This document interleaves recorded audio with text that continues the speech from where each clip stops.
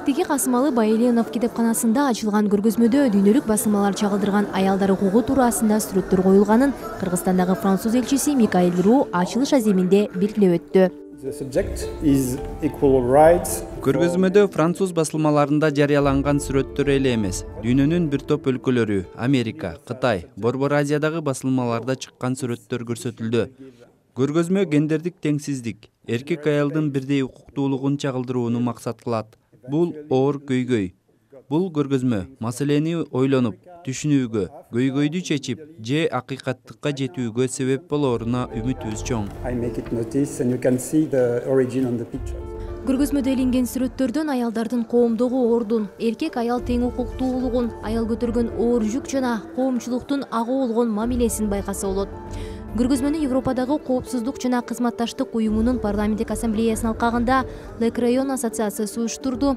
Иш чарага катышкан экс президент роза отунбаева өз сөзүндө карикатура кыргызстанда анчейин өнүкпөгөнүн жана бул өнөр аркылуу маселени жеткирүүгө сүрөтчүлөрдү чакырды эта выставка многообразная. Көргөзмөдө бир топ маселелери көп кырдуу көтөрүлгөн. Сүрөттөрдү көрүп биздеги окшоштуктарды байкадым.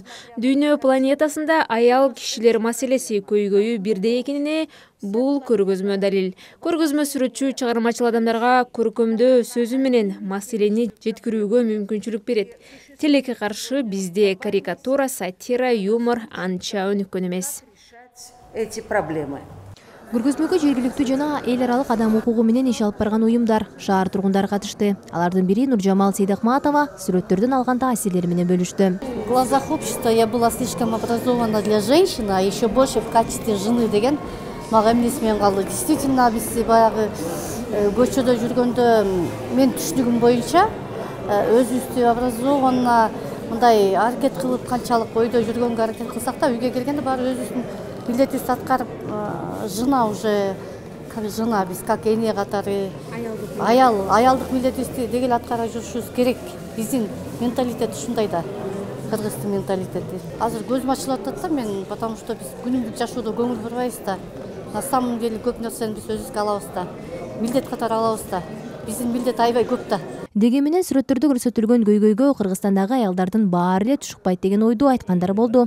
Алмаз ерматов кыргыз коомунда аялды колдоп сыйлаган эркектер бар деп эсептейт. Эми биякта көргөзүп атат баягы бизде эми азыр айымдар мисалы үчүн турмушка чыкканда баягы токтолуп андан ары өнүкпө деген жери го дейм деп ойлойм да. Ошону баягы ошол жагын козгоп атат да баягы. Мен өзүм аялым иштейт бизде азыр кудай буюрса мына үчүнчүбүз пайда болгон жатат эки бир уулум бир кызым бар.